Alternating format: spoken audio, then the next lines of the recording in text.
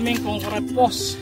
So, lutusok na namin dito sa farm lot. So, yung ilalim, nilalagay nyo ng halong semento para mas matibay. Ngayon ay naglalagay na tayo ng barbed wire. So, ilalatag nila ngayon at pipix natin mamaya maya. So, yung isang line nakapix na yun. Ito na namin kanina. Right,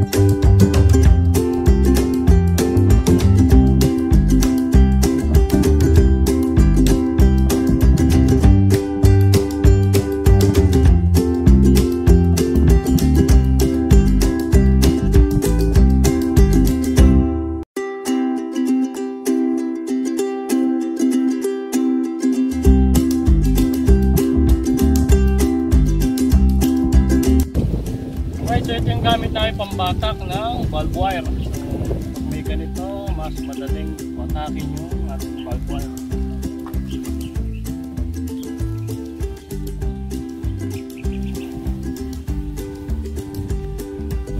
Alright, so kailangan lang ipitin yung ating valve wire.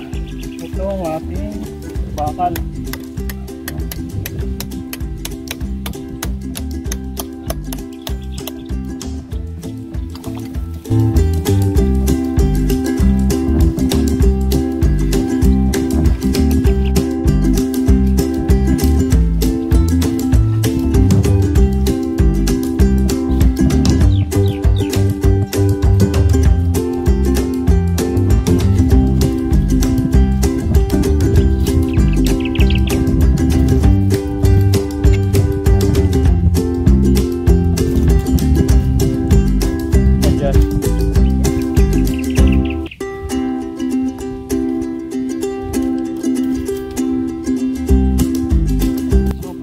Yung ganito spike dito, kailangan lang i-adjust.